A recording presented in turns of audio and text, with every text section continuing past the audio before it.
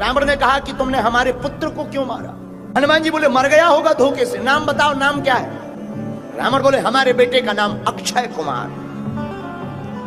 हनुमान जी बोले हाँ हाँ, ठीक कह रहे मर गो मर गो मर गो एक ही मुक्का में मर गो रावण बोले बड़े बेकार आदमी हो।